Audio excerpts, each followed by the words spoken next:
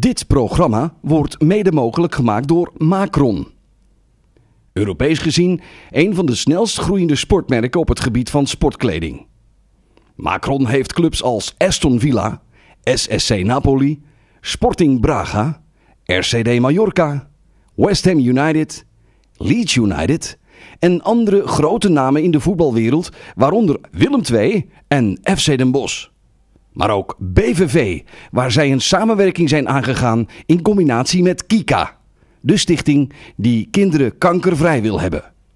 Dit programma werd dus mede mogelijk gemaakt door Macron.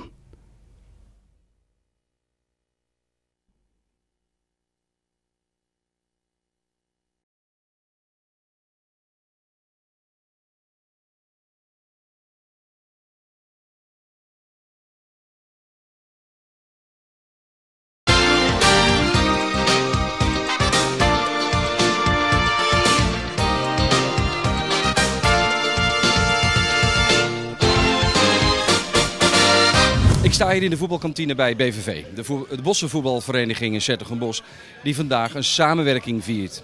En niet zomaar een samenwerking, dat is eigenlijk best een unieke gebeurtenis.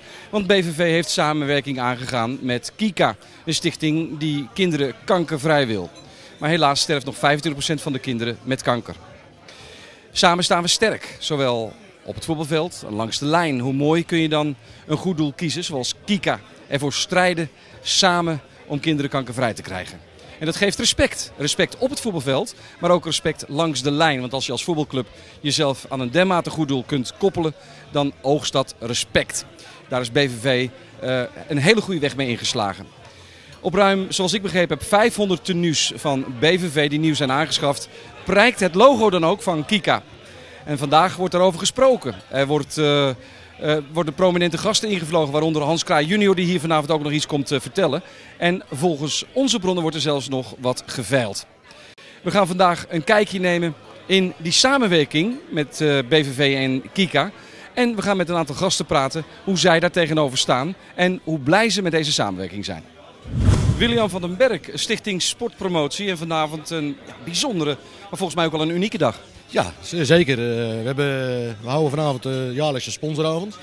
Dat doen we elk jaar, waar we een avond waar we onze sponsors verteren, die, die BVW steunen. Deze avond is bijzonder omdat we een aantal zaken te onthullen hebben.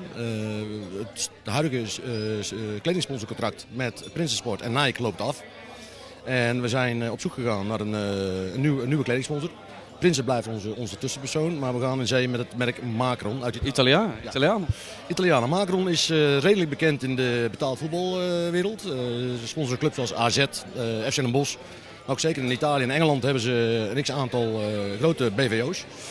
Ehm, ze willen graag ook hier lokaal de amateurmarkt in. En, we hebben een aantal maanden met ze onderhandeld en we zijn tot een overeenstemming gekomen voor de komende drie jaar.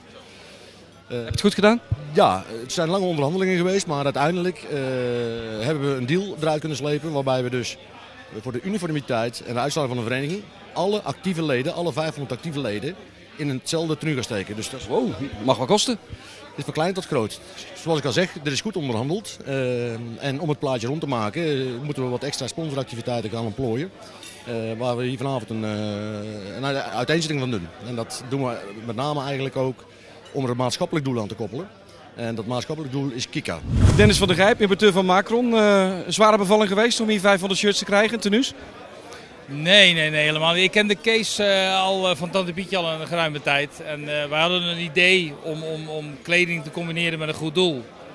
En vaak als je dat dan combineert, dan, dan heb je natuurlijk wel de juiste mensen nodig.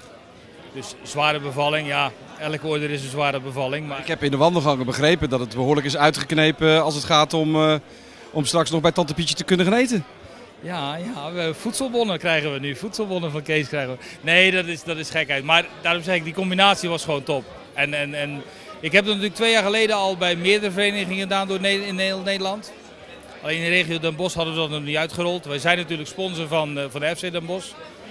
Dus het was, ja, dat is gewoon goed. Is gewoon goed. Kees, je bent hoofdsponsor geworden van, uh, van, uh, van het eerste? Ja, de shirtsponsor? Ja, shirtsponsor, mede hoofdsponsor van de vereniging. Dus uh, voor de komende drie jaar. Sta je op alle 500 tenues? Ja, we staan op alle 500 tenues. samen met nog diverse sponsors. En onder andere met Kika hier boven het woordje Macron. Ja, top toch? Ja, zeker. Het is een, eh, een nieuw project, of tenminste een, eh, een nieuw idee. En tot nu toe zijn de reacties echt optimaal. En eh, mensen, ja, ook de ondernemers reageren enthousiast. En het is veel makkelijker voor de vereniging om mensen binnen te halen. En daarnaast eh, steunen we ook nog een maatschappelijk eh, doel.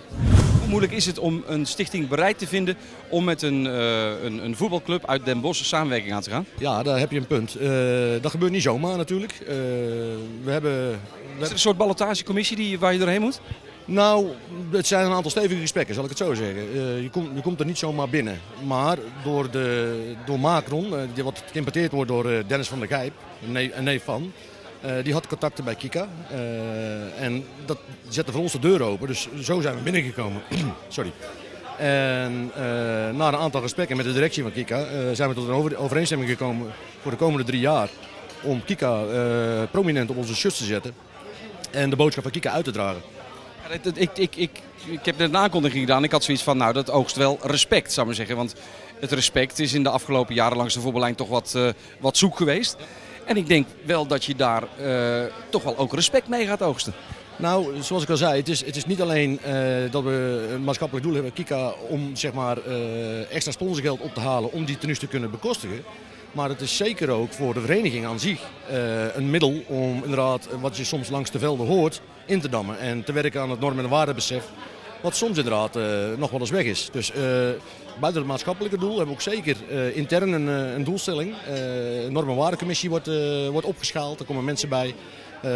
We maken reglementen over wat er gebeurt als mensen zich niet gedragen volgens de, de Kika-norm, zullen we maar zeggen. Ja, zeker met sommige ziektes die langs de lijn geroepen worden, dat kan nou niet meer. Hè?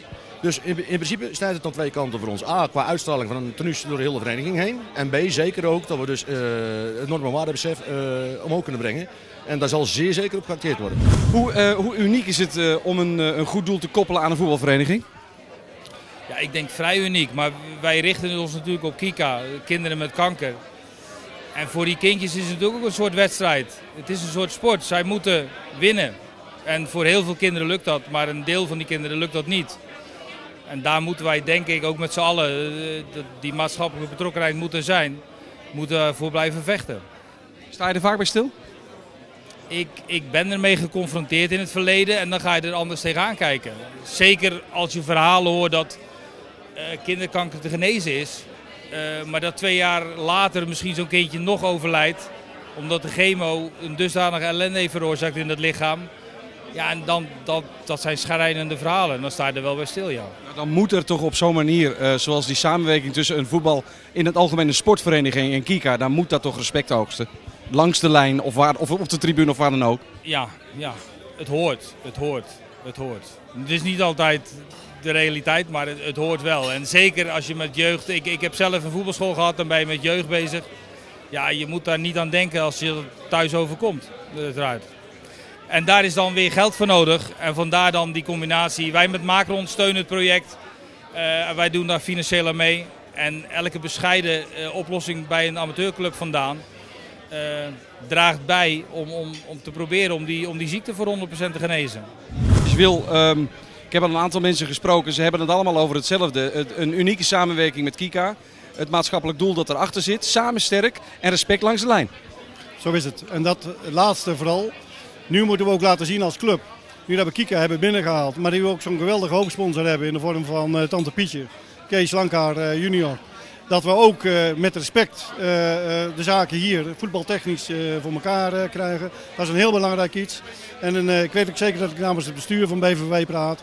Dat we daar met normen en waarden wel degelijk de komende tijd scherp op zullen gaan letten en ons ook aan moeten handhaven. Want met de kerst op de taart van Kika is dat zeker een vereiste.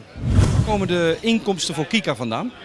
Eh, de inkomsten van Kika, wat we doen, we, we zetten Kika prominent op een shirt zoals ik al zei. En eh, mensen kunnen een donateurschap eh, afsluiten voor Kika. Een Kika BVV donateurschap. Daar gaat een deel van gaat naar Kika, een deel blijft binnen BVV en wordt besteed aan die tenues. En zo denken we die zaak te Voor een financieren. samenwerking en een win-win situatie. Het is een win-win situatie inderdaad. Ja.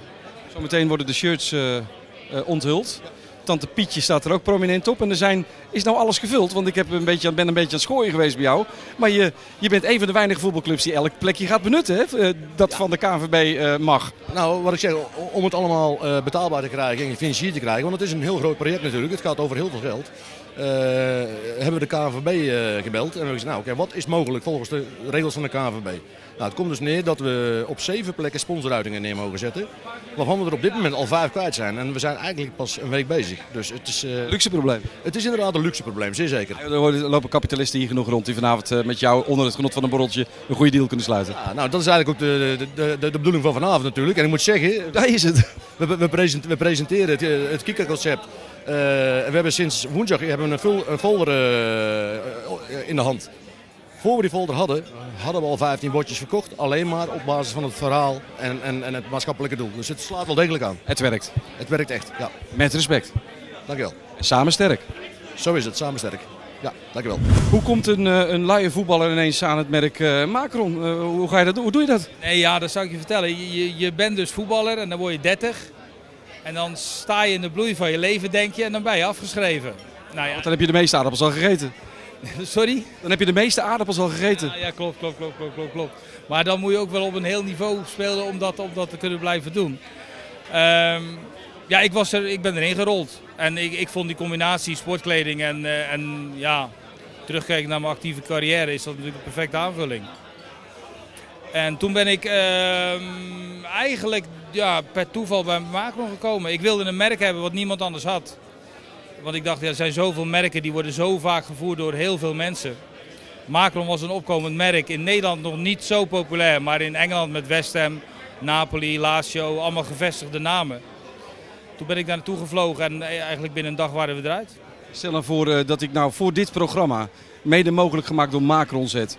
Ga je ons dan een eh, zaalvoetbalteampje geven? De, de opdruk doe ik zelf wel. Ja, maar dan, dan, dan moet je het wel drie keer achter elkaar roepen. Dan, dan, wil ik, Dan ga ik het er nog doen. Ik ga het gewoon een minuut eh, voor het programma zitten. dan geef ik, geef ik jou een visitekaartje en dan stuur ik jou een zaalvoetbalteam op. Ja. Ja. Maar dat bestaat toch wel uit een man of zes, toch niet uit de 60 man, hè? Nee, hij is 16. Oké, nee, is goed. Van die lamme honden. is goed.